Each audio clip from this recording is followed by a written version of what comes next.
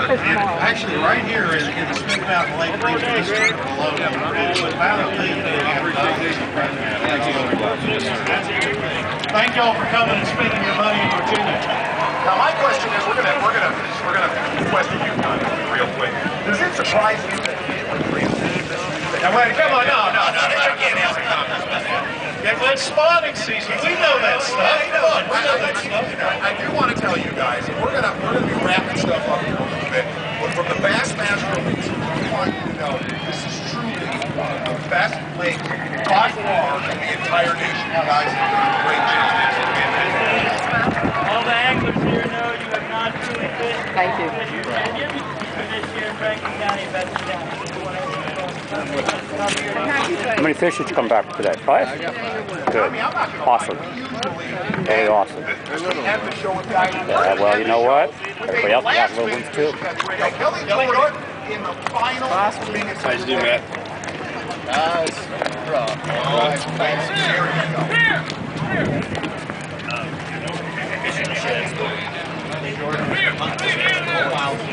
That's one of the things that went on at this lake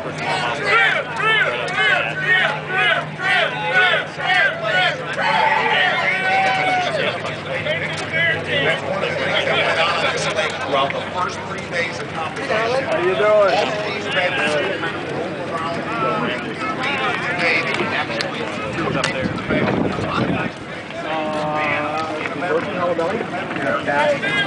Six inch bass, five inch bass string and a hollow belly both, and uh, and then just the sight fishing arsenal with a Berkley hollow belly and a, and a bass string swim bait both. Looking back over four days, anything you'd have changed maybe?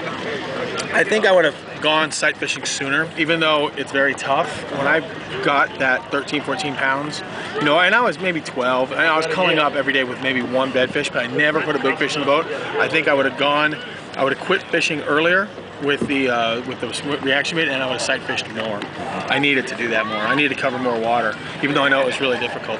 Yeah, yeah. Awesome job, but top 12, look out. Hey, I can't complain about All right, top 12. yeah, man. Thanks. Appreciate it, man. All right. Let's give it up for Kelly Jordon. You know what? You know what? Guys, I'm gonna do it. We always, we always end the show and get the crowd cranked up. I am ready. All right. ESPN 360 got the radio. This crowd fired up. Show them why that's the exciting. The best fishing in the country right here at Smith Mountain Lake. Fella from Smith Mountain Lake, Advance Auto Parts Blue Ridge Brawl is about to come to a dramatic conclusion. You might have. Eleven. Go look at your trolling motor, just one of your boats, set up in your boat. They they they. Huh? You just want a spear gun, every. Every damn one of them, man. Because they think they're so smart. They are. They are. They are. they think they're so smart, and they are. exactly right. Did you see where I was there? Yeah.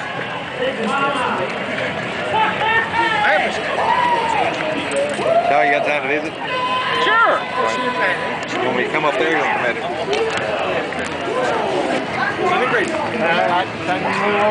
That's on viewer Shaw Grigsby. Top 12.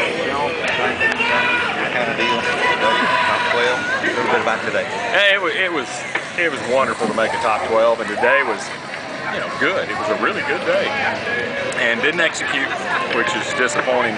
You know these fish are really finicky, and um, you know they'll they'll move off. You go around and see a big one, and there's a male, and there she is, and then she'll cruise around, and sometimes you catch the male, and she'll come in, but sometimes they just leave or get real finicky, and so it's just a real tough deal. I I had one that. Uh, came around a corner and I see one about six pounds, five and a half, six pounds, just laying up there. Wow. So I make a long cast, lay it out there, just let it sit. And then I jiggle it, and buddy, she just focuses in, goes over there, eats it. And as she eats it, she just turns to me. I set the hook, reeling as fast as I can, and she pulls off. And you get a fish like that, you get one opportunity, and that's it. And um, uh, so then I went to catch the male. She'd hang close, and I went to catch the male. I hooked her, him, drug him off the bed, and he came off, went back to bed, and then it was like I'm running out of time. So, uh, you know, I left a lot of pounds out on the lake this week, and, and that's disappointing, but it was still a tremendous, tremendous time. You know, you know, you, you you're one of the best at lead fishing.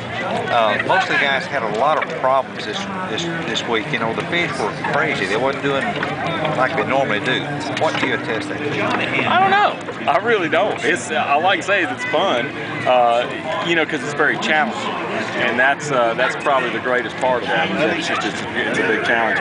It, you know, I'd like to say it was temperature, but it, you know, they're getting better, solid right now, and the temperature's warmer. The water temperature's coming up, so maybe it was temperature. Maybe it's just we had a little cold snap that kind of got them finicky, or it could have been moon phase off a little bit, but whatever. It's it's right now. Yeah, what lure was, was key for you this, this week? I used a Strike King rodent, it's a new bait, and uh, and I used a white tube, which is a bleeding bait tube that uh, Strike King has out, and uh, and I drop shot it a little bit, so it was a little bit of all that. But the, the tube seems to be the best, the tube and the rodent. Now, rodent's the one I caught that 13-6 on the PAA tournament. So oh, I'm kind of partial to those baits. They just they eat them. Looking back over four days, anything you might have changed, you think? No, you know, everything, I, I did the things right. You know, I hooked up that, that five pounder on the second day and had him all the way to the boat, getting ready to lift it when it pulled off. And I had this one, you know, when you get them to eat, that's all you got. You know, then it's up to where the hook sticks. And if the hook sticks in some skin rather than going through a nice little spot, you know, that just happens to be the, the amount of water that they suck in and when they inhale your bait, you know, it's coming in there and then where it ends up you don't know. And if you get a little piece of skin which that big five pounder did and the one today had no clue how it didn't just i'm using the sharpest hooks made in the world.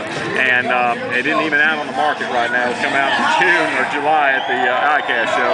This thing is so sharp you can't you can't even get close to touching it.